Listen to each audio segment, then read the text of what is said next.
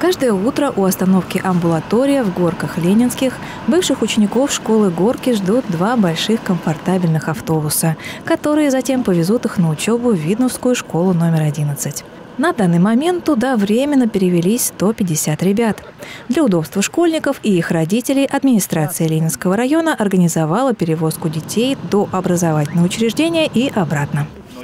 Первоклассник Даня Бессонов учится в 11 школе уже три недели. Школа семье Дане нравится, да и добираться удобно. Когда успеваю завозить его, то завожу. Когда не успеваю, то на автобусе. Школа хорошая. Вот.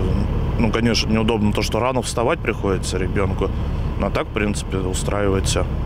Родители бывших учеников школы «Горки» для продолжения обучения могли выбрать любое учебное заведение Ленинского района. С каждой семьей вопрос решался в индивидуальном порядке. Мы с женой проехали все близлежащие школы, которые были возможны. И в этом плане я хочу сказать спасибо организаторам этого процесса непростого, которые предоставили возможность выбрать с точки зрения э, транспортировки детей, э, с точки зрения условий обучения, особенно в часы утреннего трафика, это оказалось оптимальным решением. Автобусы от остановки амбулатории отправляются в 7.15. Каждом по два сопровождающих.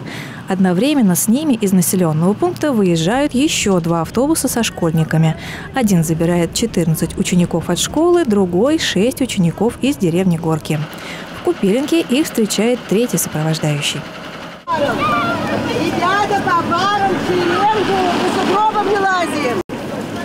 Мы встречаем детей с утра, рассаживаем их в автобус, переписываем пофамильно.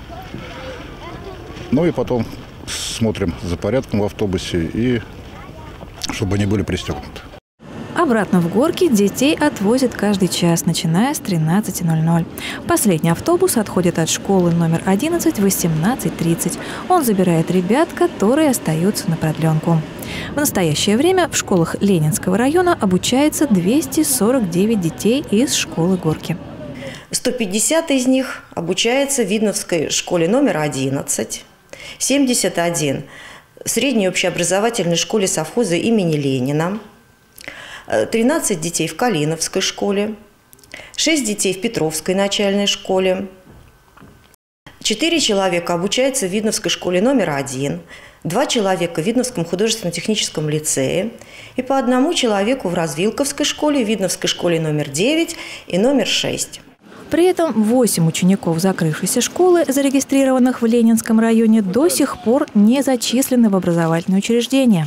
С родителями этих ребят сотрудники управления образования в ежедневном режиме поддерживают связь. Здравствуйте, Елена Владимировна.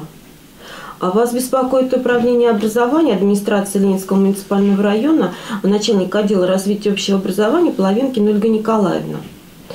А подскажите, пожалуйста, определились вы с устройством своего ребенка Павла в школу?